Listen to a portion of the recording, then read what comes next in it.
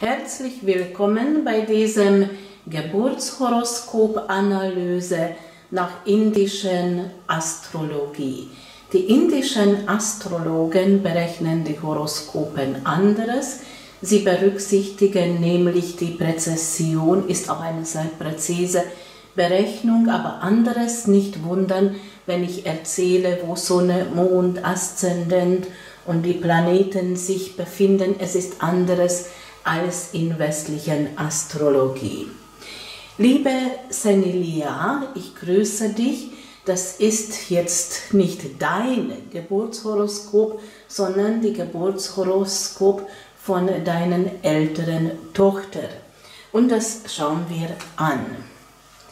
In diesem Augenblick, wo sie geboren ist, ist die Tierkreiszeichen Krebs in Osthorizont aufgestiegen. Das ist ihr Aszendent oder Lagna und ich setze Krebs hier im ersten Lebensbereich. Das bedeutet, das war die erste kosmische Energie, der begrüßt hat sie hier auf dem Erdenleben und das begleitet sie von Geburt bis zum Lebensende. Sie ist ein Kind davon. Und das beeinflusst ihren Aussehen, das beeinflusst äh, ihren Auftreten, ihre Persönlichkeit und so ist sie auch wahrgenommen. Krebs gehört zum Wasserelement. Und Wasserelement hat immer mit Gefühlen was zu tun. Sie nimmt ihren Umgebung mit Gefühlen wahr. Über die Tierkreiszeichen Krebs herrscht Mond und Mond symbolisiert die Mutter. Also sie hat auch sehr mütterlichen Gefühlen und diese mütterlichen Gefühlen, diese Hilfsbereitschaft, das, was sie auch ausstrahlt, natürlich ist es schön und angenehm, manchmal wird das auch ausgenützt. Krebs ist aber sehr empfindlich und neigt dazu, verletzt zu fühlen, neigt dazu, mal launisch sein oder zurückziehen. Ihr Vorteil ist, dass sie dieses Gefühl hat, immer im richtigen Augenblick, im richtigen Ort zu sein. Sie hat auch eine starke Intuition. Familie als solches ist für sie enorm wichtig. Krebs symbolisiert auch Familie. Im zweiten Lebensbereich ist die Werte, die Wertschätzung, Selbstwertgefühl und auch Finanzen. Energetisch hängt das zusammen. Wenn jemand sagt, ich bin es nicht wert, ich habe das gar nicht verdient, dann hat immer weniger Geld als Menschen, die dann sagen, ich bin es wert, ich habe das verdient, ich habe das im Besitz. Also ein ganz anderen Selbstwertgefühl und das spiegelt sich auch in Finanzen. Hier hat sie die Löwe. Die Löwe liebt die Glanz, die Luxus. Also die Neigung ist da, für Luxus Geld auszugeben. Oder mit Geld oder ähm, mit teuren Dingen auch glänzen nach außen, damit sie Anerkennung bekommt, Ansehen bekommt. Löwe braucht die Publikum, Löwe möchte im Mittelpunkt zu sein, ist auch nachvollziehbar. Über die Tierkreiszeichen Löwe herrscht die Sonne und die Sonne ist Glanz. Sonne ist im Mittelpunkt äh, unserem Sonnensystem und dieses Gefühl braucht man und das erlebt sie hier in dem zweiten Lebensbereich. Das heißt, sie hat dieses Bedürfnis, diese Wertschätzung zu bekommen. Sie hat dieses Selbstwertgefühl oder versucht es aufzubauen, dieses Selbstwertgefühl zum Haben. Ich stehe im Mittelpunkt, ich bekomme Anerkennung, Wertschätzung und wenn das nicht so ist, dann fühlt sie sich verletzt und dann zieht sie zurück hier zum Krebs. Im dritten Lebensbereich ist die Schule, die Erfahrungen, Und auch, wie lernt sie oder wie nimmt sie das wahr und wie ist die Verbindung zum anderen Kinder, Geschwister oder anderen Kinder in die Schulzeit, im Jugend. Hier hat, hat sie Jungfrau. Jungfrau ist klug, also sie ist eine kluge äh, Schülerin oder sie hat diese Begabung zum Lernen, die hat auch dieses analytisches Denken, die kann das auch ganz gut äh, ordnen. Die hat diese Begabung auf jeden Fall lernen oder studieren, aber Jungfrau ist eher zurückhaltend. Und das, was sie erlebt oder hat erlebt in dieser Schulzeit, mehr Beobachter zu sein, auf die Seite, manchmal sogar das Gefühl zu haben, sie wurde auf die Seite geschoben. Und später ähm, sind diese Erinnerungen da und das erlebt sie dann im beruflichen Umfeld, wo sie sich dann behaupten muss gegen Konkurrenten. Aber in diesem Lebensbereich ist auch die Schulungen, auch die Schule des Lebens, diese Prüfungen zu bestehen und das bringt sie auch in Ordnung, weil Jungfrau ist diese Energie, etwas in Ordnung zu bringen. Jetzt sind wir im tiefsten Punkt des Horoskopes. Wenn ich das vergleiche mit einem Baum, dann würde ich sagen, hier ist die Wurzel des Baumes. Hier fühlen wir uns verwurzelt, verankert. Das ist in unserem Ahnen, unserem Herkunft oder Traditionen, unserem Zuhause und alles gehört in diesem Lebensbereich, was mit Immobilien oder Inneneinrichtungen zu tun hat. Und hier hat sie die Waage. Und das gibt ihr die Wurzel im Leben, wo sie sich verankert für die Basis, die Fundament. Und das ist Waage. Das ist Gleichgewicht wenn sie aus dem Gleichgewicht kommt im Leben oder unsicher wird, verliert die Basis, verliert dieses Fundament. Das fühlt sich an, wenn sie entwurzelt wäre. Die verliert den festen Boden unter den Füßen. Außerdem Waage steht auch für Gerechtigkeit, also sie hat auch diese Gerechtigkeit Sinn und auch für Liebe. Waage verkörpert auch die Schönheit, die Harmonie und das in ihren Wohnsituation. Das heißt, sie liebt Häuser, was luftig ist und wunderschön eingerichtet. Sie hat dazu einen guten Geschmack und die liebt das auch. Im fünften Lebensbereich sind die Kinder, das zeigt später ihren eigenen Kindern und noch später ihren Enkelkindern, aber auch ihre Kindheit. Und diese Erinnerungen bedeutet dieser Lebensbereich auch die Lebensfreude, die Kreativität, unserem Leben kreativ zum Gestalten. Hier heißt, hat sie Skorpion. Es ist auch Wasserelement, also handelt es sich um Gefühle. Und hier ist wichtig die Wandlung. Und das heißt, es gibt negativen Gefühlen und die blockieren uns und es gibt positiven Gefühlen, das macht alles schöpferisch kreativ. Und hier sind diese Erneuerungsprozesse, auch die Erinnerungen an die Kindheit und sie nimmt das sehr emotional wahr. Zum negativen Gefühlen gehört wie Angst, auch Verlustangst oder Schuldgefühl oder Eifersucht, manchmal Wut. Und hier lernt sie, wenn ihr Leben schöpferisch gestalten möchte, von diesen Gefühlen verabschieden und übergehen auf den positiven Gefühlen wie Dankbarkeit, Hingabe, Hilfsbereitschaft, Fürsorglichkeit ähm, und Liebe natürlich.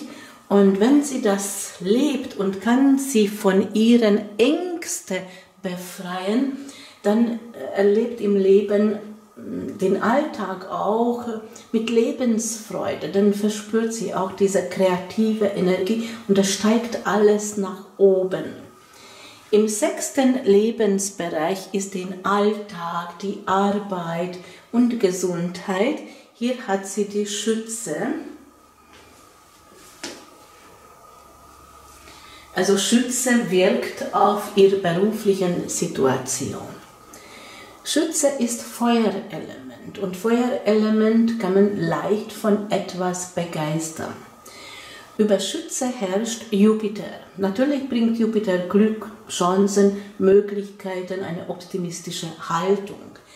Aber Jupiter vergrößert etwas. Manchmal neigt dazu, etwas übertreiben.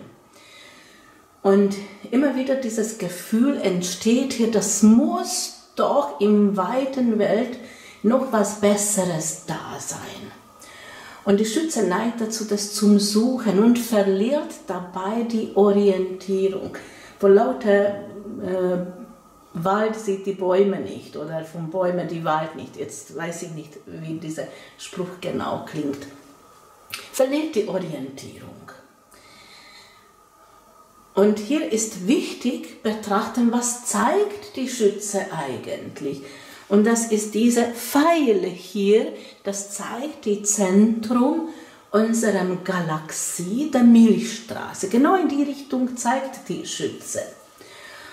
Und spirituell heißt es, hier sind unsere Wünsche.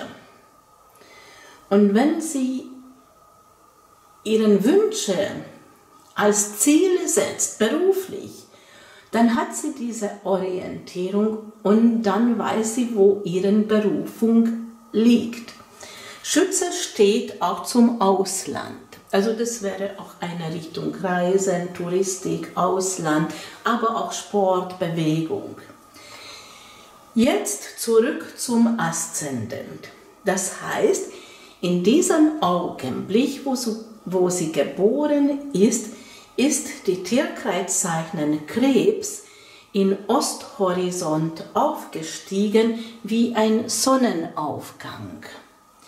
Im selben Moment ging die Tierkreiszeichen Steinbock in Westhorizont nach unten wie ein Sonnenuntergang.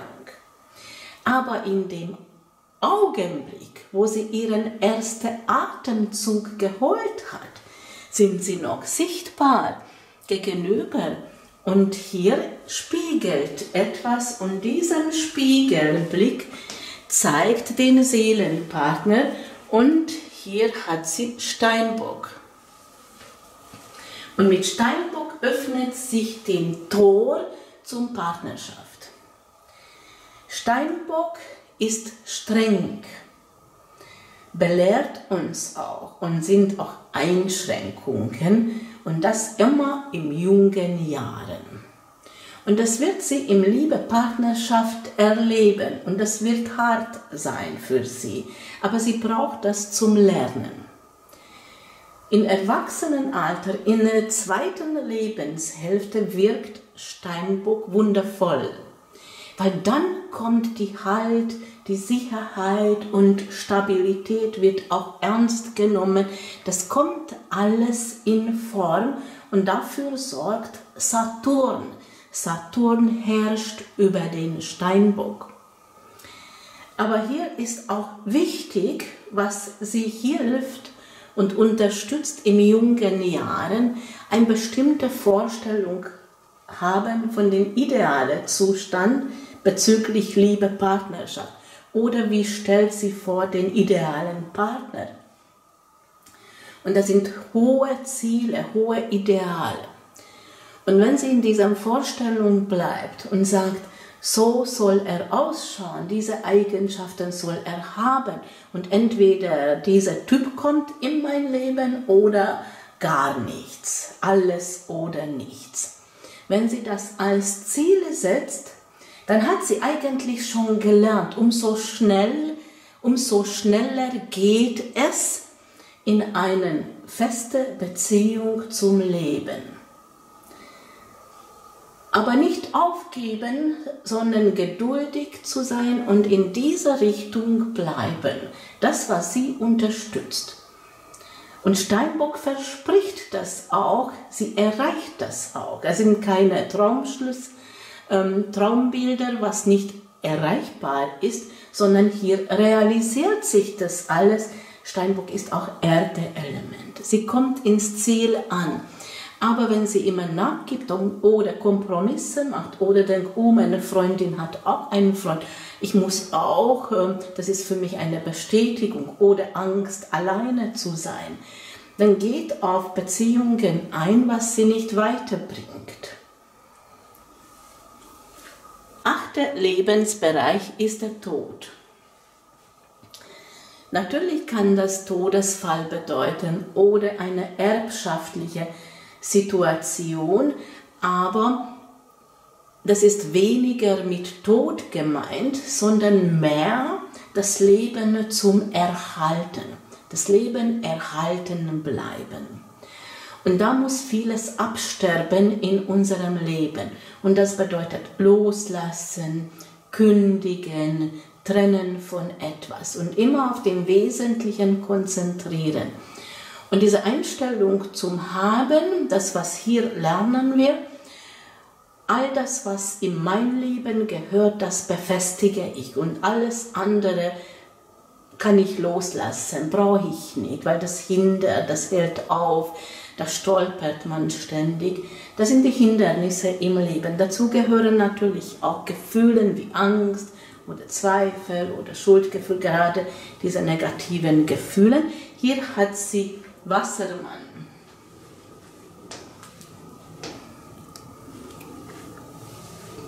Wassermann ist Luftelement und das heißt, sie braucht den Luft zum Atmen. Und wenn das alles zu viel ist, weil sie vieles mitschleppt, dann nimmt das ihr Luft und sie hat das Gefühl, sie verstickt. Und deswegen ist hier sehr, sehr wichtig, immer wieder aufräumen und alles loslassen, was im Weg steht. Das kann Gewohnheiten sein oder falsche Freunde oder Gegenstände oder Gefühle wie Angst. Und wenn sie aufgeräumt hat, immer wieder, immer wieder, dann kann sie aufatmen und dann bleibt in diesem Leichtigkeit und hat auch klaren Gedanken, tolle Ideen, ein Weitblick. In diesem achten Lebensbereich gehört auch Thema Sexualität und auch Thema Geld. Jetzt nicht die Kontostand, sondern die Investitionen, die Ämter wie Banken, Versicherungen, Finanzamt, Erbschaften oder das Geld von Partnern. Also diese finanziellen Themen gehört auch hierher.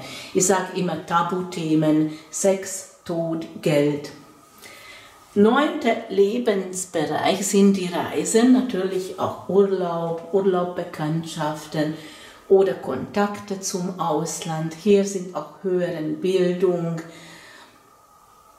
und bedeutet auch eine innere Reise, Spiritualität oder eine Glaubensrichtung. Hier stellt man auch solche Fragen, woran glaube ich? Glaube ich an mir selbst? Glaube ich auf mein Vorhaben? Glaube ich auf die Liebe oder meine Berufung? Also hier stärkt man die Glaubenssätze. Hier hat sie Fischen. Die Tierkreiszeichen Fischen gehört auch zum Wasserelement. Hier erlebt sie auch all das, diese Reise, sehr gefühlsvoll. Hm, solche Erfahrungen macht sie auch im Ausland, aber das zeigt auch die Spiritualität dieser inneren Reise und die Fischen belehrt sie auch. Und das kann ich so erklären, in diesem Stammbild sind es zwei Fischen. Sie schwimmen im Wasser. Und Wasser symbolisiert die Gefühle, ein Ozean von Gefühlen. Und die eine Fisch schwimmt in eine Richtung und das sind die negativen Gefühle wie Angst und Zweifel und das blockiert. Und wenn sie noch Selbstmitleid haben und erzählen ihren Problemen und jammern und jammern und klagen, dann hört jemand immer zu und dann bekommen sie Aufmerksamkeit, bisschen Streicheleinheiten und das tut in dem Moment gut. Und es gibt Menschen, die Fischen betont sind, die da festhalten. Aber das sind nur Augenblicke im Leben, aber nicht die Lösung für die Probleme. Die Lösung ist einfach übergehen auf die andere Richtung. Die anderen Fisch ist die Lösung. Ein Traum zum Haben von dem idealen Zustand, eine Vorstellung, diese Bilder pflegen das ist Fantasie und hier ist die Fantasie grenzenlos. Das Vorstellen, daran glauben und dann geschehen lassen, vertrauen das Fluss des Lebens und passiert Wunder. Genau so kommt es auch. Genau so. Natürlich muss ein Traum realistisch sein, aber hier sind die Möglichkeiten doch grenzenlos. Und die Menschen, die das beherzigen und daran haben dieser Urvertrauen und machen diese Lebenserfahrung, dann erleben sie wirklich, dass das so ist. Und das, was sie in diesem spirituellen Weg sie auch lernt, das Urvertrauen, Vertrauen, das Fluss des Lebens ohne Angst, ohne Zweifel. Die zehnte Lebensbereich ist die Spitze des Horoskopes. Zurück zum Vergleich. Hier ist die Krone des Baumes. Und diese Krone sollen wir auch tragen. Das bekommen wir dadurch Anerkennung, Ansehen, Respekt, eine stolze königliche Haltung. Und hier haben wir auch Themen wie Öffentlichkeit und Berufung. Hier hat sie die Widder. Natürlich mit wieder muss sie sich immer wieder behaupten, wieder kämpft. Sie ist sehr kämpferisch und mutig und zeigt Kraft, manchmal stürmisch voran. Also sie braucht das, äh, diese Herausforderungen immer wieder, sich zu behaupten. Im elften Lebensbereich sind die Wünsche, die Hoffnungen, die Sehnsüchte und auch Freundschaften und wir sollen Freundschaft schließen mit unseren Wünschen. Außerdem hier sind auch Themen wie Gruppen von Menschen, die gleichgesinnt sind oder das zum Gründen, wie ein Verein oder eine Partei. Hier hat sie Stier. Ihr Wunsch ist wohlhabend zum Leben und wertvollen Dinge im Besitz zu nehmen und das genießen. Stier kann auch bedeuten bei Freundschaften, dass hier die in bestimmten Freundschaften versucht, sie festzuhalten. Stier neigt dazu, festzuhalten, in Besitz zu nehmen und das festhalten. Manche Freundschaften muss aber loslassen, weil es gibt auch falsche Freunden. Das muss nicht festhalten, sondern im Gegenteil, davon verabschieden. Aber kann auch bedeuten, dass hier auch ähm, sehr angenehm ist, dass sie das wirklich genießen kann oder hat wohlhabende Freunde, was die dann später im Leben auch erlebt. Im zwölften Lebensbereich sind die Geheimnisse des Lebens, die tiefe Geheimnisse hier kennenlernen wir auch die Zusammenhänge im Leben, haben wir auch karmischen Themen, das ist auch Rückzug und alles, was im Geheimen ist, alles, was hinter verschlossenen Türen passiert, wo wir keinen Einblick haben und auch unserem geheimen Feinden. Hier hat sie die Zwillinge. Und welche tiefen Erkenntnisse hat sie oder was hat sie hier zum Verstehen, die tiefe Geheimnisse, das Leben zu verstehen. Dazu erzähle ich die Geschichte von den Zwillingen. Es gab eine Königin Leda, eine wunderschöne Frau. Und der Himmelsgott Zeus liebte schöne Frauen und verführte Leda. Und sie wurde schwanger. Sie war aber verheiratet mit dem König von Sparta und von ihm wurde auch schwanger. Und Leda gebar denen Zwillingen, Castor und Pollux. Castor war der Sohn von König, also menschlich und sterblich, Und Pollux war der Sohn von Zeus, also göttlich und unsterblich. Und dann kam die Zeit, wo Castor sterben musste. Und Pollux ging zu seinem Vater und sagte, ja, ich will auch sterben, ich kann doch meinen Halbbruder nicht alleine lassen. Und Zeus sagte zu ihm, nein, ihr braucht nicht sterben, ich mache euch beide unsterblich.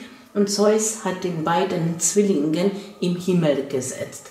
Und sie leuchten in diesem Zeichnen Zwillingen Castor und Pollux und sind miteinander verbunden. Und diese Geschichte erzählt uns Folgendes. Wir Menschen haben eine Seele. Und unsere Seele ist doch ein Teil von der göttlichen Schöpfung. Und das ist eine göttliche Funke in uns, in unserem Inneren. Und wenn wir sterben, dann verlässt die Seele unseren Körper, verlässt die Erde, verlässt Materie, aber die Seele hat die volle Bewusstsein, die Seele hat die Erinnerungen, hat auch Gefühle und kehrt zurück zum Gott. Und sinngemäß kann ich das so vorstellen, dass Gott fragt dann, ja, erzähl mal, ich bin neugierig, wie war auf die Erde? Und die Seele erzählt und erzählt und das ganze Leben von Geburt bis zum Tod spielt sich wieder ab wie ein Film. Die Seele schaut es nochmal an. Und Ende fragt Gott, ich kann das nur so sinngemäß äh, wiedergeben oder so vorstellen, dann Gott fragt, ja, wie fühlst du dich jetzt? Wenn die Seele sagt, ja, mir geht es gut, also es war so schön auf der Erde, ich habe alles im Griff gehabt, äh, ich habe so viel Freude gehabt, ich fühle mich so frei, dann sagt der liebe Gott, ja gut, dann äh, fühl du dich frei, du hast vom Karma befreit. Natürlich kommt noch die Gerechtigkeit dazu, die Seele muss das ausgleichen. Das ist auch Karma. All das, was wir in Ursache setzen, das kehrt auf uns zurück. Das ist dann die göttliche Gerechtigkeit. Aber wenn die Seele dann sagt, oh, ich habe das nochmal alles angeschaut und jetzt stelle ich mir fest, ich habe doch gar nicht gelebt. Ich habe so viel falsch gemacht, das gibt's doch nicht. Dann sagt Gott, ja gut, hm, kein Problem, geh zurück, mach besser. Und die Seele macht eine Seelenreise und kehrt wieder zurück. Und die Seele ist in diesem Hamsterrad drin. Und dieser Rad nennt man Schicksalsrad. Und so lange sind wir in diesem Rad drin, bis die Seele von Karma befreit ist. Wie schafft die Seele das? Wenn wir selbst sind, wenn wir Aufgabe haben, wenn wir unserem Leben nach unserem Wünsche gestalten, wenn wir frei sind, dann haben wir von Karma befreit. Wir müssen nicht perfekt sein, aber glücklich zu sein, befreit zu fühlen, unserem Leben nach unserem Wunsch, unserer Vorstellung gestalten und glauben an uns selbst, an die Liebe, an Gott, dieser starke Glauben und Glauben versetzt auch Bergen. Das, was uns glücklich macht. Und das ist diese Reise. Und das symbolisieren die Zwillinge. Und die Verbindung ist da. Dieser seelische, das Göttliche ist Polux. Das ist unsere Seele. Und das Menschliche, dieser Schicksalsweg, weil die Seele sucht dann immer wieder ein neuer Schicksalsweg aus. Das hat einen Anfang, das ist unsere Geburt und hat ein Ende, das ist unserem Tod. Das ist Castor. Und das sind die tiefen Geheimnisse des Lebens. Sonne befindet sich bei ihr im Schütze.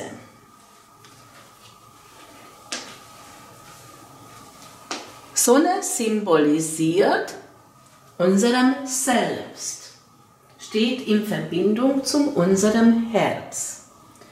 Warum? Weil die Sonne ist das Zentrum unserem Sonnensystem und unserem Herz ist das Zentrum unserem Körper. Hier ist auch die Gesundheit.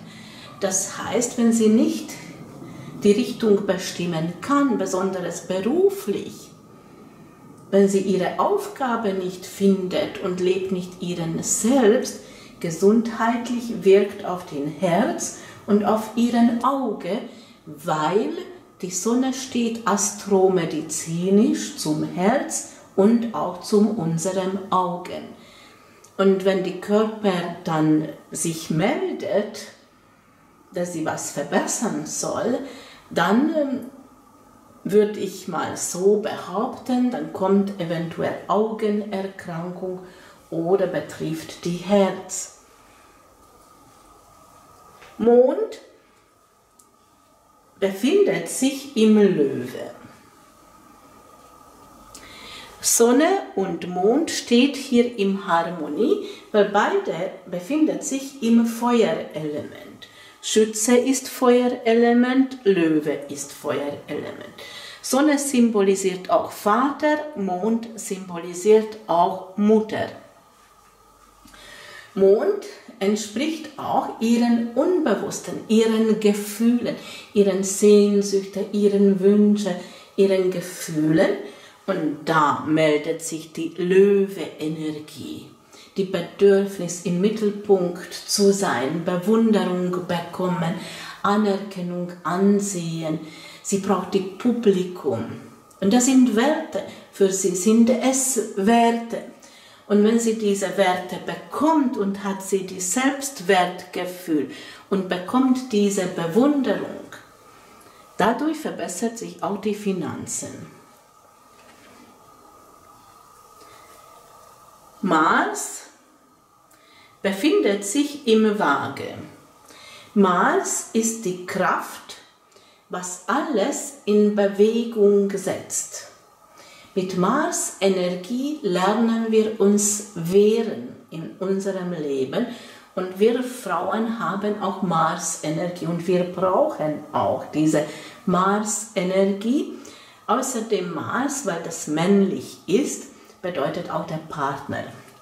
Mars hat sich hier im Waage. Wenn das darum geht, sich zu behaupten und sich wehren, es ist sehr schwierig im Waage, weil die Waage liebt die Harmonie. Muss alles friedlich sein und immer im Gleichgewicht. Und wenn sie aber Mut hat und doch etwas sagt oder sich behauptet oder wehrt, dann mit diesem vage Energie neigt sie dazu, das zu bereuen oder sich dafür entschuldigen oder Schuldgefühle zu haben oder schlechtes Gewissen.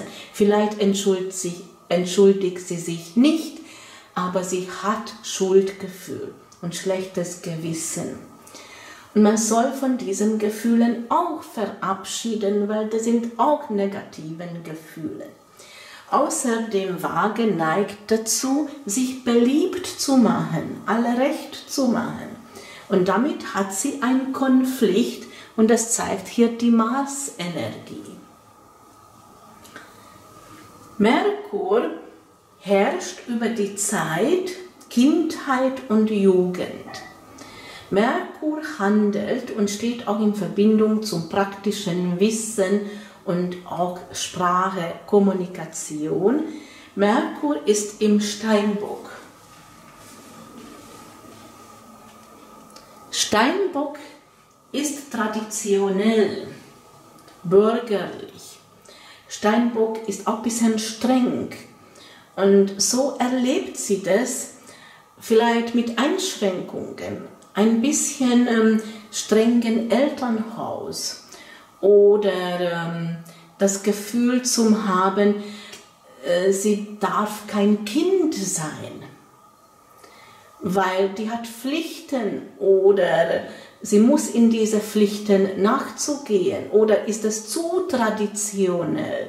Oder sie erlebt das als Einschränkungen was das Wissen betrifft, dieses praktische Wissen, sie braucht vielleicht länger, aber dann sitzt.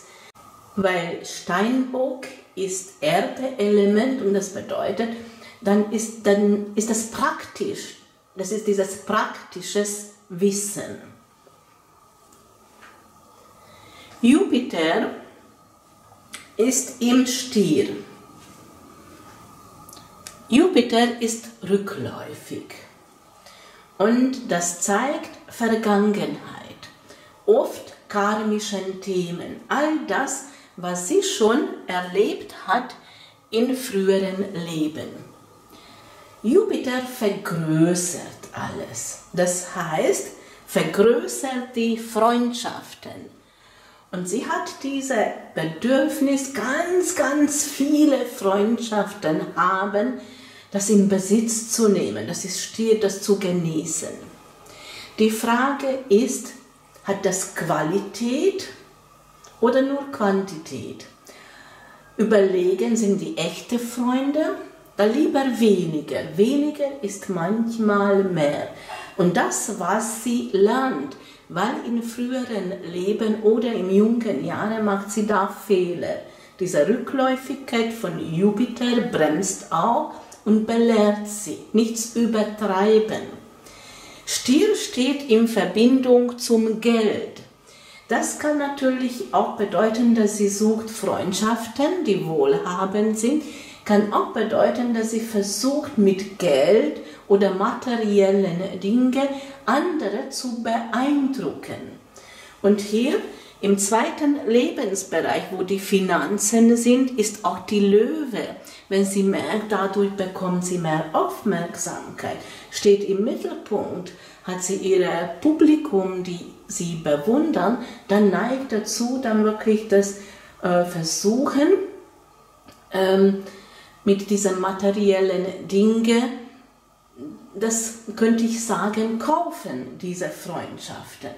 Und wenn sie merkt, dass es nicht echte Freundschaften sind, dann fühlt sie sich verletzt und Krebs zieht sich dann zurück und hat diesen verletzten Gefühlen. Jupiter bringt aber ihr Glück und äh, Glück hat sie, wenn sie zu ihren eigenen Werten steht, zu ihren Größe. Und das muss nicht immer die materiellen Dinge sein, sondern ihren Selbstleben, ihren Wunsch, ihre Vorstellung zum Leben. Immerhin, das gehört auch zu diesem Lebensbereich. Dann gibt Jupiter ähm, die Okay dazu und öffnet sich neue Chancen, neue Möglichkeiten, weil Jupiter bringt ihren Leben dieses Glück. Venus ist eine weibliche Energie.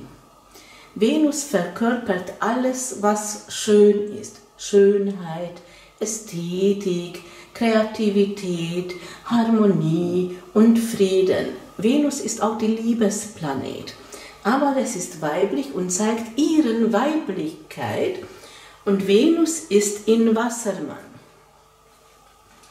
Es ist hier im achten Lebensbereich, das heißt, hier passiert die Wandlung. Die braucht Zeit, bis sie sich so weit sich verändert, bis ihren eigenen Weiblichkeit leben kann.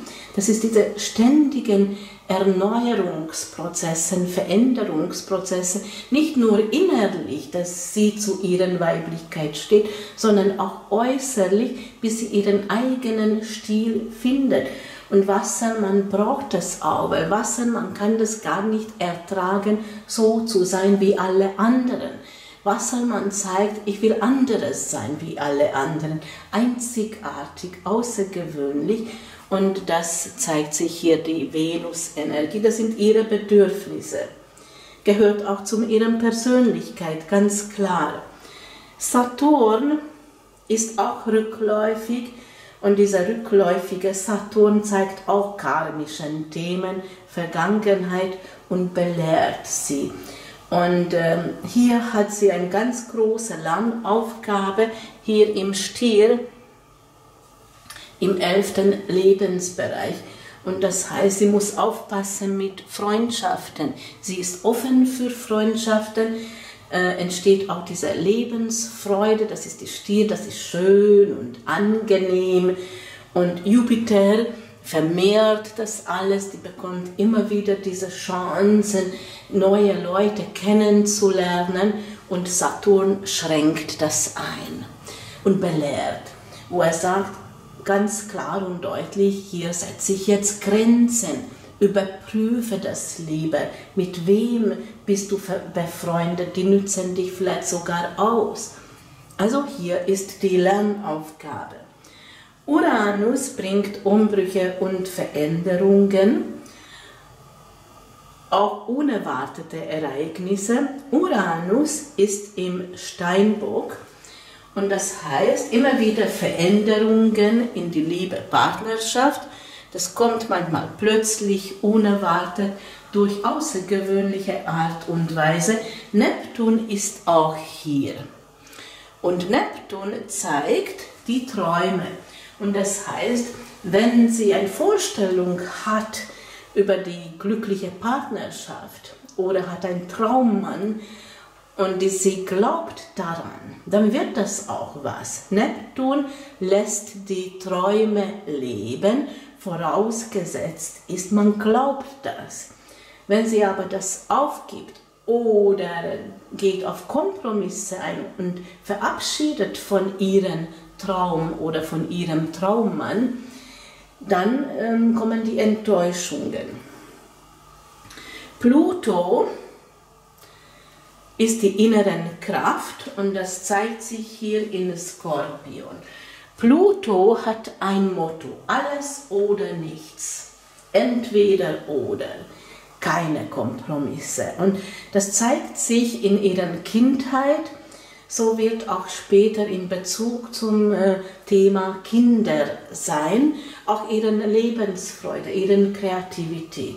Natürlich ist Pluto sehr unterstützend und gibt die inneren Kraft, dass wir das nicht aufgeben und wir setzen alles auf eins.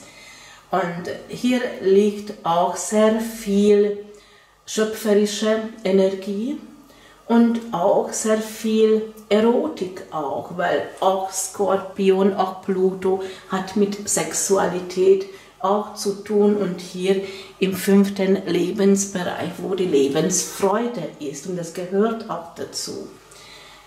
Pluto herrscht über die Skorpionen, das heißt Pluto kann sich hier sehr gut auch entfalten. Unserem Planet Erde bewegte sich in Zwillinge. Und hier manifestiert sich etwas. Und das ist dieser höheren Bewusstsein, was ich erzählte in ähm, diesem Geschichte von Castor und Pollux. Das sind die Geheimnisse des Lebens, das unterstützt sie in ihrem Lebensweg. Und hier ist die Rückzug, immer wieder dieser Rückzug, auch Meditation.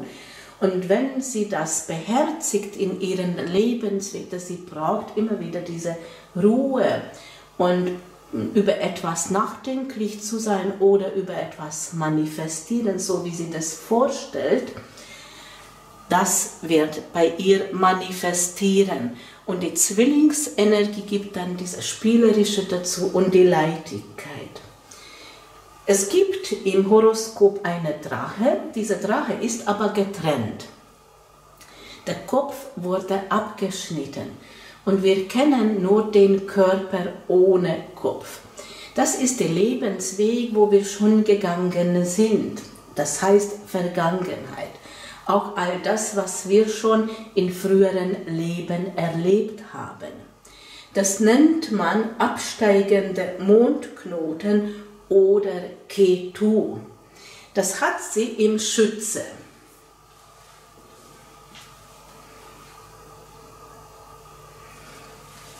Und hier, in diesem Weg ist sie schon gegangen.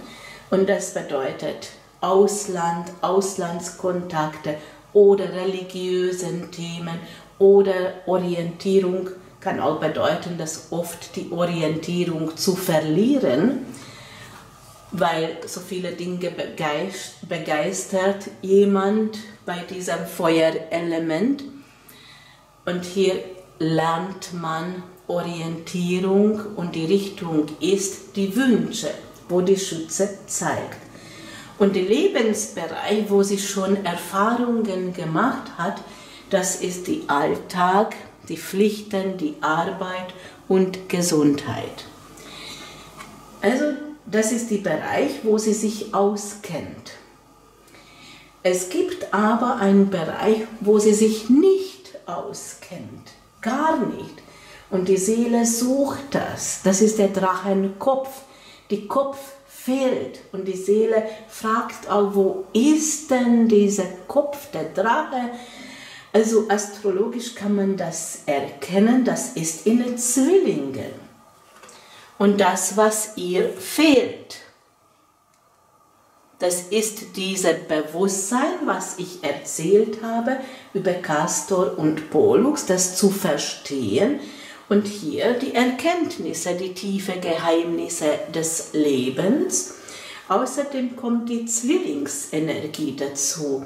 Nicht alles zu streng zu sehen, auch nicht immer wieder zu verletzt zu fühlen und beleidigt zu sein und dann äh, Schuldgefühlen haben, sondern das mal spielerisch betrachten. Das Spielerische, diese Leichtigkeit hilft ihr und die Erde ist auch hier. Dann manifestiert sie vieles in ihrem Leben.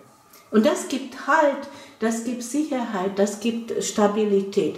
Außerdem für sie ist enorm wichtig die Rückzug. Immer wieder, wenn sie etwas vorhat, nachdenklich zu sein oder darüber meditieren, mal einen Tag überlegen, ist das richtig, was ich vorhabe? Oder gerade bei Freundschaften, wo ihre Lernaufgabe ist, nachdenklich zu sein? Kann ich sie vertrauen oder ist es besser, vorsichtig zu sein? Hier liegen auch die geheime Feinde. Das auch mal sehen und erkennen, weil sie neigt dazu, das gar nicht äh, zum Sehen. Sie will das nicht sehen. In indischen Astrologie gibt es Mondhäuser. Und das symbolisiert die Tagesbewegung des Mondes. Dazu gibt auch eine mythologische Geschichte. Chandra ist der Mond und verliebt sich an Rohini. Rohini ist jung und hübsch und unschuldig. Rohini symbolisiert eigentlich die Morgenröte. Und der Mond macht einen Heiratsantrag und die zukünftige Schwiegervater sagt zu ihm, na gut, du darfst doch meine Tochter heiraten, ist doch kein Problem, aber die hat noch ein paar Geschwister, du musst alle ihre Geschwister auch heiraten. Und der Mond blieb nichts anderes übrig, heiratete alle 27 Frauen, alle Geschwister und jeden Tag besucht eine von seinen Frauen und das symbolisiert die Tagesbewegung des Mondes. Natürlich, der Einfluss kommt von Sternen. Und das schauen wir jetzt an. Aszendent ist Krebs und dieser Mondhaus heißt Pushya. Und das bedeutet, diese tiefe Intuition haben, verspüren, immer im richtigen Augenblick, im richtigen Ort zu sein. Das ist ihr Vorteil. Aber dazu muss sie intuitiv sein. Sonne befindet sich hier im Schütze und dieser Mondhaus heißt Uttarashada und das heißt die Wünsche, die Vorstellung leben und das nicht aufgeben. Das ist die Ziel, das ist die Orientierung, alles andere ist uninteressant. Das bringt ihr Glück und auch Orientierung im Leben.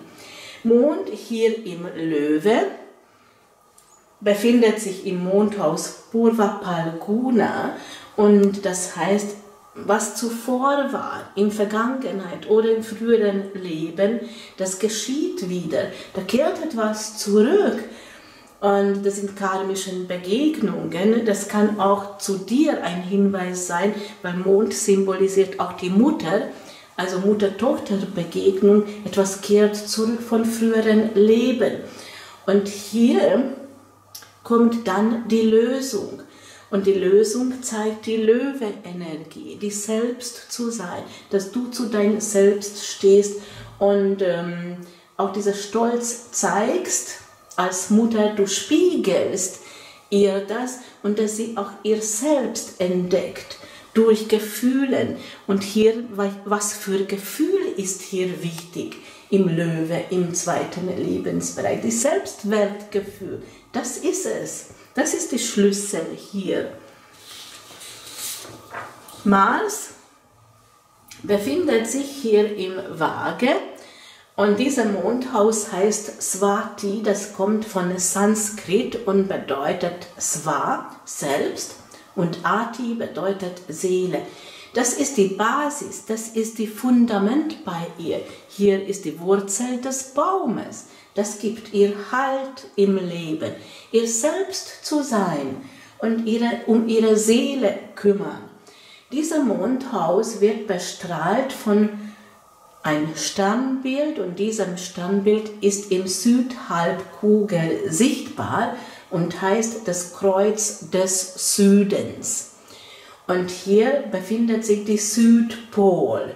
Und die Südpol dient zum Orientierung. Die braucht Orientierung im Leben. Diesem Sternbild, das Kreuz des Südens, vermittelt auch spirituellen und religiösen Themen auch Glaubenssätze, wo sie dann sagt, ich glaube an mir selbst, das gibt mir Halt. Oder ich glaube an die Liebe oder ich glaube an meine Berufung, ich glaube an mein Vorhaben. Diese Glaubenssätze sollte man hier auch stärken. Merkur befindet sich im Steinbock und dieser Mondhaus heißt Shravana Merkur hat einen Bezug hier im Steinbock auf ihre Kindheit und Jugend und auch die Handlungen. Und dieser Shravana heißt übersetzt Adler. Und hier braucht ein Adlerblick, ein Weitblick und auch die Luftelement befreit fühlen. Nicht zu streng nehmen viele Dinge im Leben. Diese Einschränkungen sind nicht so gut. Natürlich braucht man auch äh, eine gewisse Strenge oder mal Grenzen setzen, aber mit dieser Adler, sie hat dieses Bedürfnis, befreit zu sein, frei zu sein und fliegen.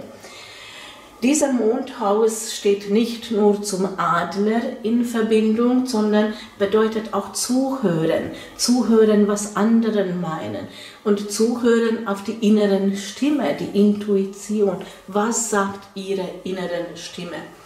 Jupiter und Saturn, beides hier im Stier, befindet sich im Mondhaus Kritika und das bedeutet übersetzt die Plejaden.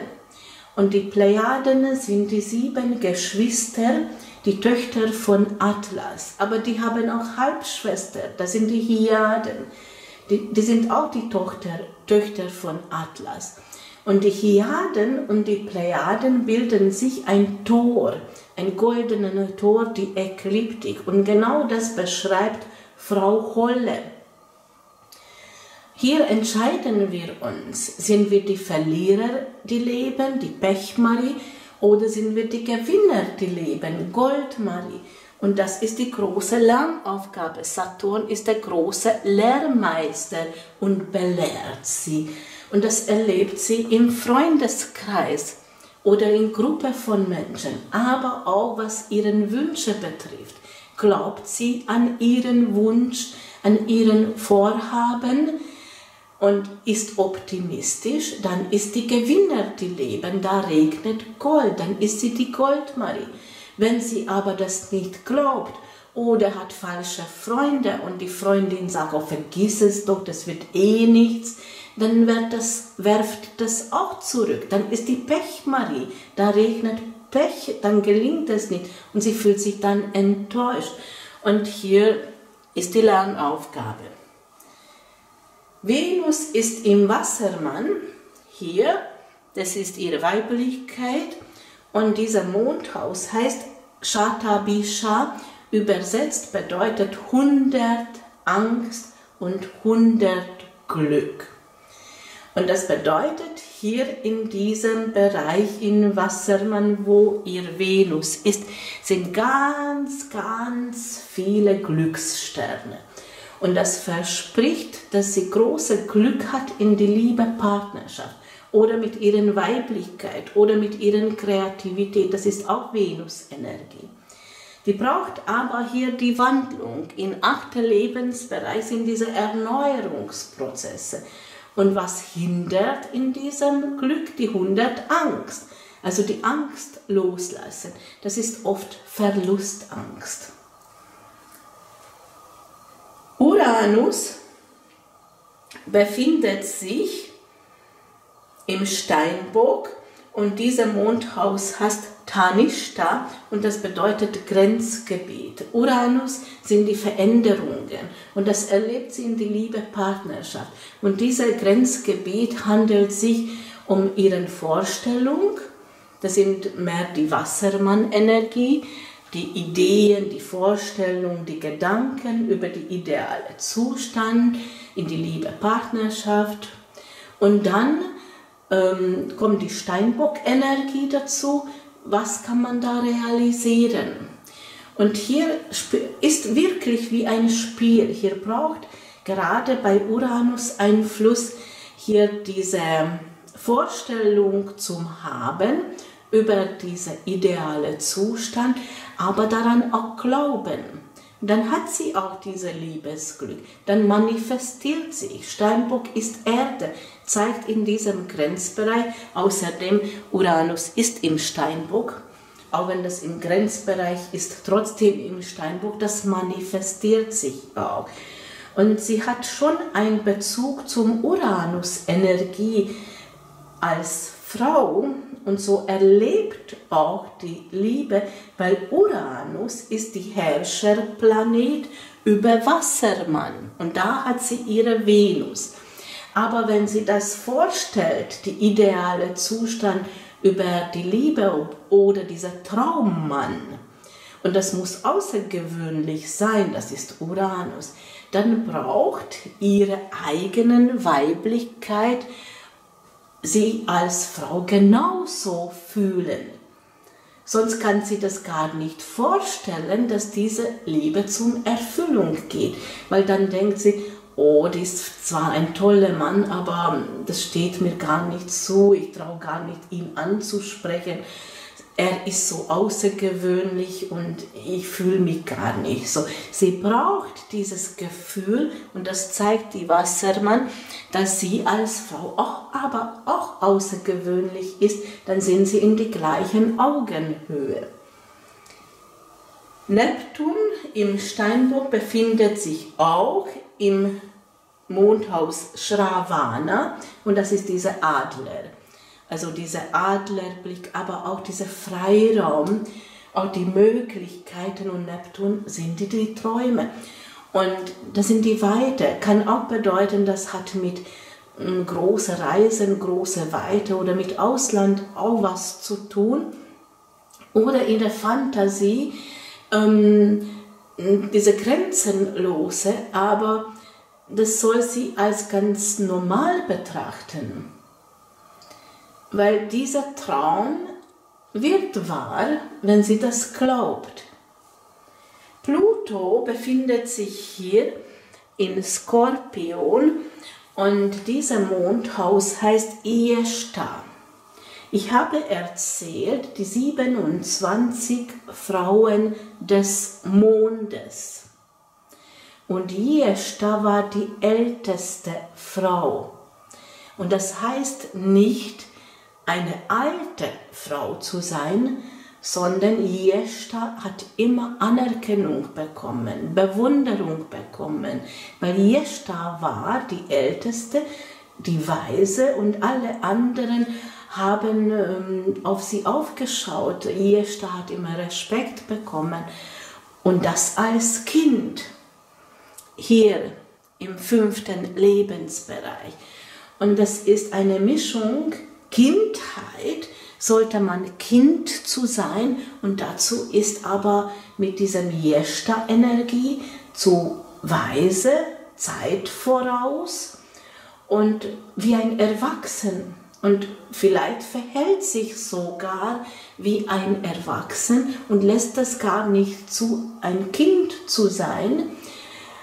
Und äh, das spiegelt sich natürlich auch die Verbindung auch zum Eltern, dass die Eltern manchmal oder du als Mutter, dass du manchmal wunderst, eigentlich sie ist gar nicht so kindisch, sondern das ist wie eine äh, ältere weise Frau und die Bedürfnis natürlich nach Anerkennung und Lob und Kompliment.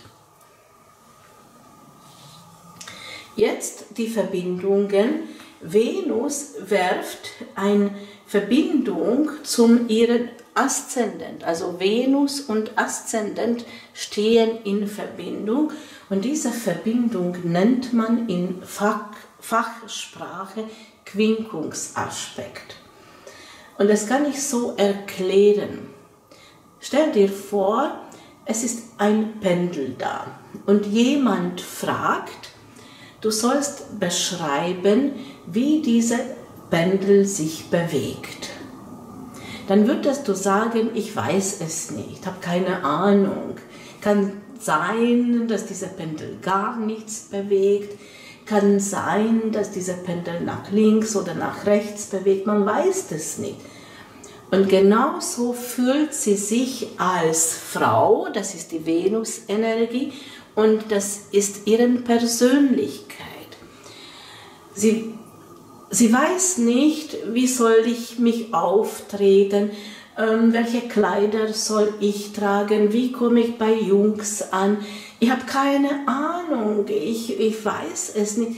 Mir fehlt irgendwie die Orientierung. Dieses Gefühl entsteht bei dieser Verbindung. Die Persönlichkeit und Aussehen und Auftreten und Wahrnehmung und ihre Weiblichkeit die gleiche, die gleiche Quinkungsaspekt hat sie zwischen Mond und Uranus. Mond symbolisiert ihren Gefühlen, aber steht in Verbindung zum Mutter, auch ihre mütterlichen Gefühle. Und Uranus bringt immer diese unerwartete Ereignisse, wobei ihr wieder dieses Gefühl entsteht, wie bei diesem Pendel als Beispiel, wie schlägt dieser Pendel aus? Ich weiß es nicht. Ich habe keine Ahnung. Und das kannst du so vorstellen, entweder hat sie Angst vor Veränderungen oder unerwartete Ereignisse. Das ist die Uranus-Einfluss. Mond hat auch einen Bezug zum Veränderungen, weil Mond ändert sich die Mondphase mal Vollmond, mal Neumond, mal zunehmen, mal abnehmen, diese ständige Wechsel oder Veränderungen. Und da sind auch so Ängste, ja, was kommt als nächstes? Welche Veränderung kommt? Ich weiß es nicht, das macht jemand unsicher. Außerdem Mond steht auch zur Mütterlichkeit, wenn das in die Frage kommt in Beziehung.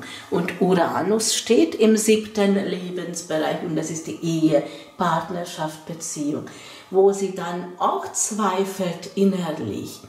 Soll ich ähm, Mutter sein oder lieber nicht? Ich weiß es nicht. Das ist diese innere ähm, inneres Gefühl, genauso wie bei diesem Pendel. Wie schlägt dieser Pendel aus? Ich weiß es nicht, ich habe keine Ahnung, ich kann das gar nicht beschreiben. Und da sind Themen bei Veränderungen oder bei Thema Mütterlichkeit, wo sie dann sagt, hm, ich weiß nicht, was da kommt, was kommt auf mich zu, ich habe Angst vor Veränderungen, ich habe keine Ahnung. Jetzt etwas zu diesem Bild, das ist die tibetische Astrologie. Nach außen ist für sie wichtig die Klarheit, klare Entscheidungen, etwas klären, etwas bereinigen. Die Zahlen haben auch eine, äh, die Zahlen haben auch eine Bedeutung und das heißt, bei ihr kommen immer wieder Erinnerungen und dann entsteht diese Unsicherheit, soll ich, soll ich nicht, hm, ich weiß es nicht. Und diese Unsicherheit muss sie klären und nach außen so vertreten und dann das in Harmonie bringen.